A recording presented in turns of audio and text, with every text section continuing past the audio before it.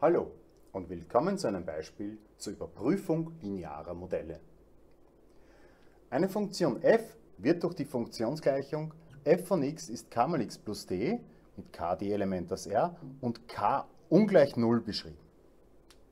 Kreuzen Sie die für f zutreffende Aussage an, beziehungsweise zutreffenden Aussagen an.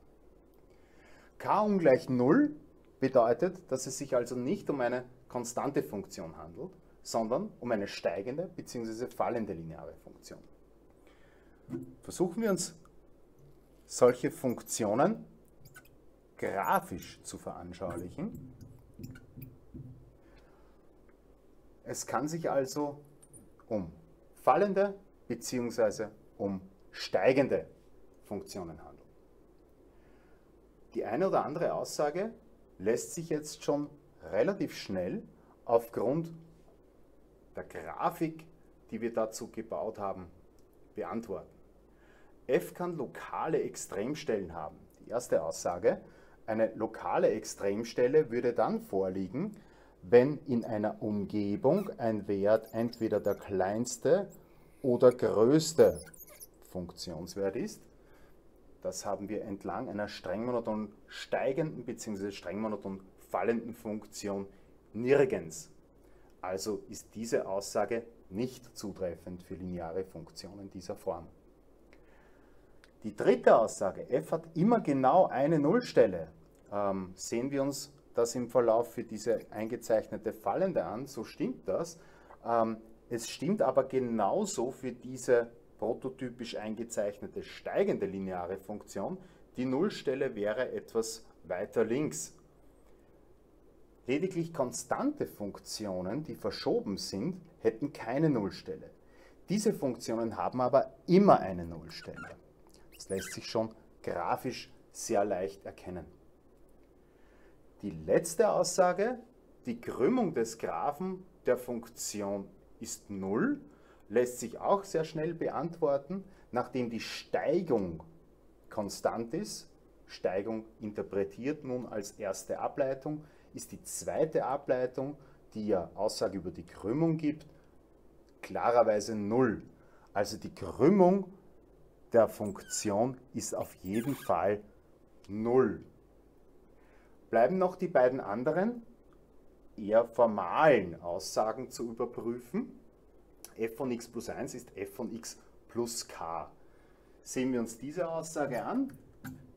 So ähm, möchte ich zunächst f an der Stelle x plus 1 notieren. Ähm, f an der Stelle x plus 1, das heißt anstelle des Arguments x haben wir nun x plus 1.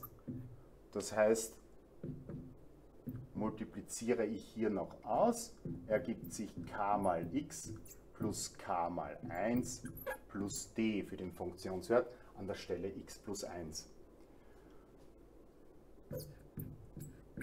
f von x ist laut Definition k mal x plus d. Bilden wir also nun f von x plus k, also die rechte Seite dieser Gleichung, so sehen wir, dass sich k mal x plus d plus k ergibt. Und diese beiden Ausdrücke stimmen überein. Das heißt, auch diese Aussage ist als zutreffend anzukreuzen. Ähm, rein anschaulich wäre auch das relativ rasch zu beantworten gewesen, denn das ist ja geradezu die Definition der Steigung, dass wenn das Argument um 1 erhöht wird, die Funktionswerte um k steigen. Kommen wir zur letzten zu überprüfenden Aussage.